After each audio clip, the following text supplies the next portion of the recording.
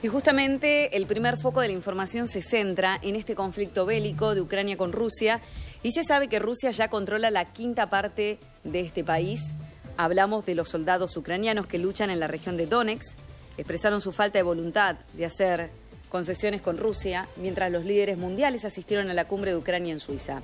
El presidente Vladimir Putin dijo que Rusia pondría fin a la guerra en Ucrania solo si Kiev aceptaba abandonar sus ambiciones de la OTAN y entregar la totalidad de los cuatro provincias reclamadas por Moscú, exigencias que Kiev rechazó rápidamente por considerarlas equivalentes a una rendición.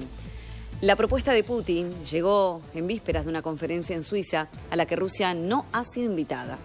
También este país, Rusia, controla casi una quinta parte del territorio ucraniano en el tercer año de guerra. Ucrania dice que la paz solo puede basarse en la retirada total de las fuerzas rusas y la restauración de su integridad territorial. Además, también se espera que la cumbre del fin de semana en Suiza, a la que van a asistir representantes de más de 90 naciones y organizaciones, evite las cuestiones territoriales y se centre en asuntos como la seguridad alimentaria y la seguridad nuclear en Ucrania.